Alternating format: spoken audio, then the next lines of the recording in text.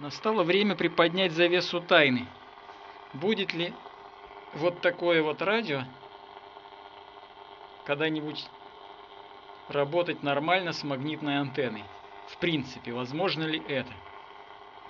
Вот стенд, стиральная машина, которая более-менее экранирована от всяких помех, хотя и так они туда проникают. Ну вот сейчас я его так выставил, чтобы помех было как можно меньше, чтобы мы могли чего-нибудь услышать берем наш тексан, полный знаков вопроса, и подносим. И что мы слышим? О, ужас! Он шипит. Громко.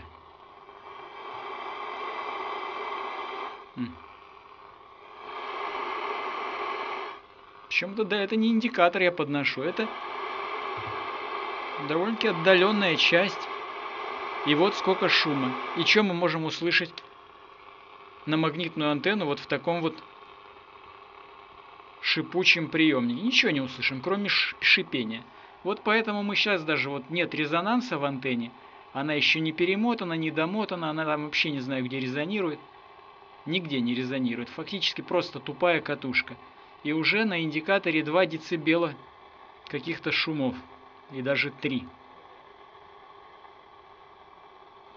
То есть эта штука не будет никогда, как ни намотай эту магнитную антенну, что ты там с ней не делай, она никогда не будет работать нормально.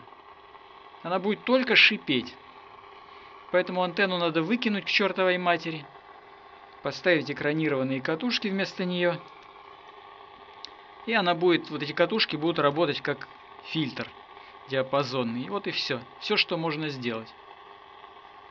Смысла в ферритовой магнитной антенне в таком приемнике нет никакого абсолютно.